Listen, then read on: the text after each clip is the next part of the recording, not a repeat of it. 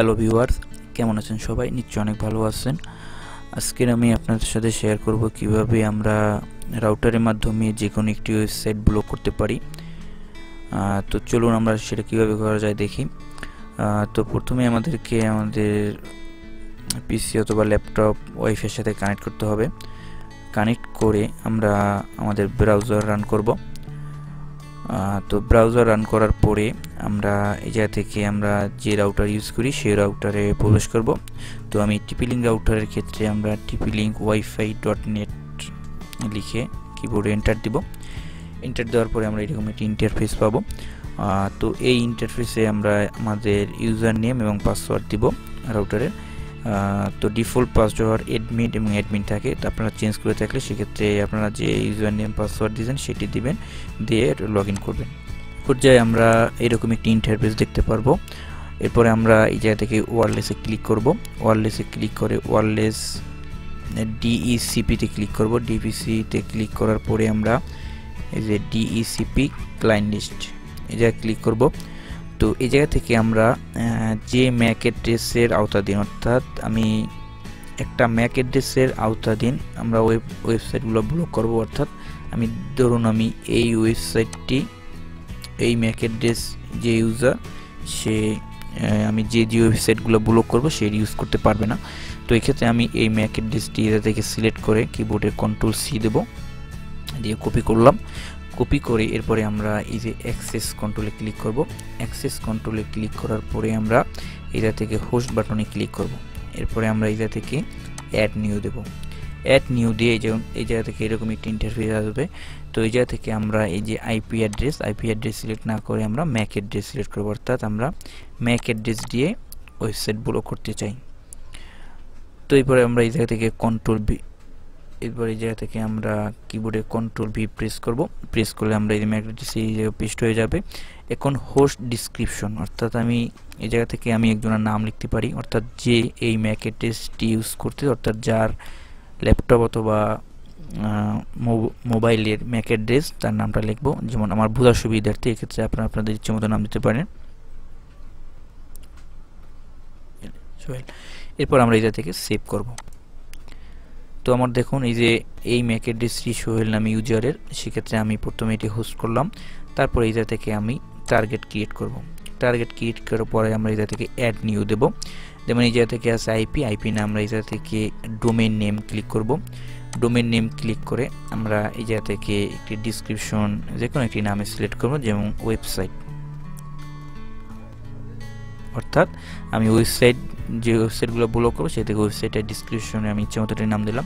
এবার ডোমেন নেমে ডোমেন নেমে আমি যে ওই ম্যাক অ্যাড্রেস অর্থাৎ ওই, একমাত্র ওই ম্যাক অ্যাড্রেসই আমি এই জায়গায় যে ওয়েবসাইটগুলো লিখে দেবো, সেই ওয়েবসাইটে ভিজিট করতে পারবে না। এছাড়া বাকি যে বাকি যে আরও ম্যাক অ্যাড্রেসগুলো আমার, ও রাউটারের সাথে কানেক্ট তারা এগুলো ভিজিট করতে পারবে।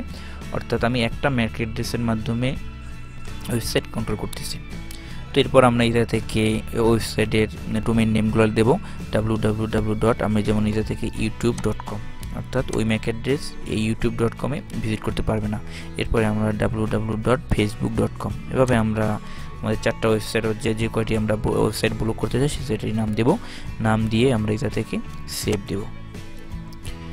তো আমাদের এই টার্গেট ইকো করা হয়ে গেল। এরপরে আমরা এই জায়গা থেকে রোলে ক্লিক করব। রোলে ক্লিক করে আমরা এই যে অ্যানাবেল বাটনটা আছে, এই জায়গা থেকে enable internet access control tick mark দিয়ে দেবো। দিয়ে আমরা এই থেকে এবং এই জায়গা থেকে ডিনাই করে আমরা ডিফল্ট ডিনাই দেওয়া থাকে, এই করে আমরা সেভ দেব। সেভ করার পরে আমরা এই থেকে অ্যাড নিউ দেব। নিউ দিয়ে এই যে রোল নেম রোল নেম অর্থাৎ ব্লক ব্লক, আমরা যে কোনোটি নাম দিতে পারি।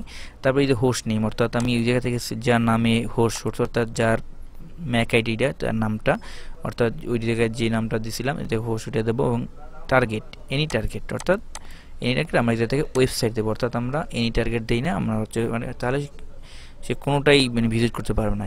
এবং ওয়েবসাইট ওয়েবসাইট দেবো ওই জায়গা থেকে, যেহেতু আমরা ওয়েবসাইট ব্লক করছিলাম এবং শিডিউল এনি টাইম দিয়ে আমরা সেভ করব। দেখুন, তার ওয়েবসাইটটি ব্লক করা হয়েছে। দেখুন, দেখি আমরা এটা কাজ করে কিনা। আমি যে ম্যাক অ্যাড্রেস নিয়েছিলাম, এটি এই যে, এই পিসির তো এই জায়গা থেকে আমরা জায়গায় ক্লিক করব। ক্লিক করে আমরা এই থেকে ফেসবুক লিখব। ফেসবুক ডট কম এটা থেকে আমরা এন্টার দেব।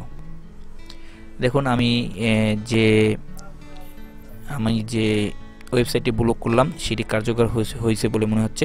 যেমন, আমি এটা থেকে ফেসবুক ডট কম দিলাম সেই দেখুন এটি লোডিং হচ্ছে। তারপরে আমরা এই থেকে যে ইউটিউব দিছিলাম ইউটিউব এটা থেকে এন্টার দিলাম। দেখুন, সেই ওয়েবসাইটটি রিলোড হতেছে, ওই ওয়েবসাইটে কানেক্ট কানেক্ট পাইতেছে না।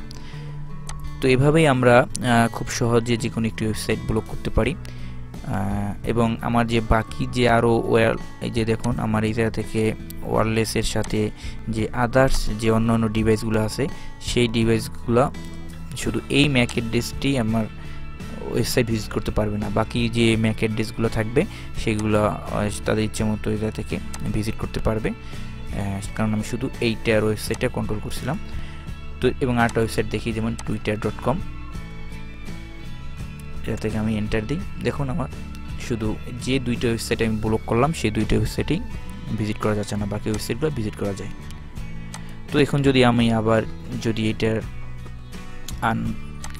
আনব্লক করতে চাই, সেক্ষেত্রে আমাকে আবার সেই অ্যাক্সেস কন্ট্রোলে যাব। অ্যাক্সেস কন্ট্রোলে গিয়ে আমরা এই যে টিক মার্ক তুলে দেবো, দিয়ে এটা সেভ করব।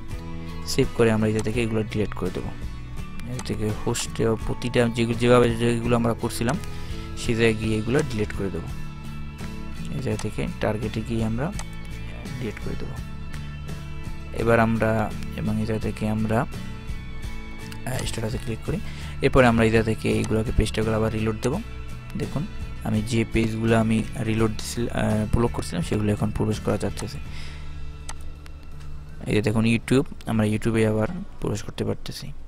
তো এভাবেই আমরা খুব সহজে আমরা রাউটারের মাধ্যমে যে কোনো ওয়েবসাইট ব্লক করতে পারি। তো আমার এই টিউটোরিয়াল যদি আপনাদের ভালো লাগে, অবশ্যই আমার চ্যানেলটি সাবস্ক্রাইব করবেন এবং লাইক কমেন্ট এবং শেয়ার করতে ভুলবেন না। তো আজকের এই পর্যন্তই। সবাই ভালো থাকেন। আল্লাহ হাফেজ।